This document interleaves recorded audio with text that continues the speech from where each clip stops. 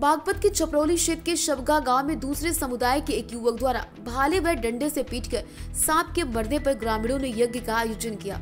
प्रसाद भी वितरित किया। इस आयोजन में हिंदू संगठन के कार्यकर्ता एवं सैकड़ों ग्रामीण हिस्सा लेते नज़र आए। थाना क्षेत्र के शबगा गाँव में 7 जनवरी को दूसरे समुदाय के एक युवक ने संजीव पुत्र महन के प्लॉट पर बैठे लगभग 12 फीट लंबे सांप को लाठी व भाले से पीट पीट कर मार डाला। उसके बाद आरोपी युवक सांप को भाले में लाठी पर लटका कर ले जा रहा था। तभी किसी ने मोबाइल में इसका वीडियो बनाकर सोशल मीडिया पर वायरल किया। आरोपी युवक ने सांप के शव को ज़मीन में दबा दिया।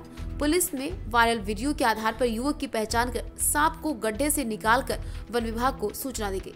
पुलिस ने वन रक्षक संजय कुमार की शिकायत पर शबगा निवासी स्वालीन के खिलाफ वन्य जीव संरक्षण अधिनियम उन्नीस सौ बहत्तर के तहत मुकदमा पंजीकृत करते हुए सांप का पोस्टमार्टम कराया, जिसमें पशु चिकित्सक डॉक्टर रोहित सिंह ने पोस्टमार्टम रिपोर्ट में सांप की रीढ़ की हड्डी टूटने, सर में चोट लगने, इंटरनल ब्लीडिंग, ब्रेन डैमेज होना बताया। पोस्टमार्टम के बाद ग्रामीणों ने सांप के शव को अंतिम संस्कार के लिए दिया। ग्रामीण सत्येंद्र सरोहा राजन सिंह व संजीव ने बताया शुक्रवार को सरोहा पट्टी शिव मंदिर में सर्प की तेरहवीं पर विधि विधान अनुसार यज्ञ का आयोजन किया गया जिसमें सैकड़ों लोगों ने आहुति देकर आत्मा की शांति के लिए दो मिनट मौन रखा। सांप के फ़ोटो पर पुष्प अर्पित की।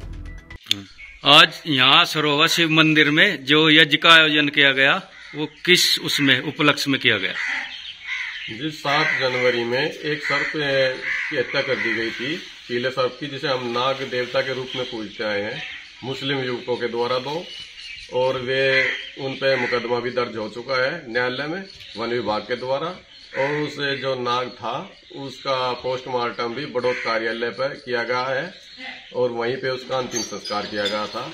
उसकी आत्मा की शांति के लिए गाँव में एक यज्ञ का आयोजन किया गया, जिससे गाँव में शांति बनी रहे। कोई आगे फिर यह घटना ना हो, इसलिए हम सबने मिलकर यहाँ पे एक शांति यज्ञ का आयोजन किया गया जिससे आगे कोई ऐसी घटना न घटे।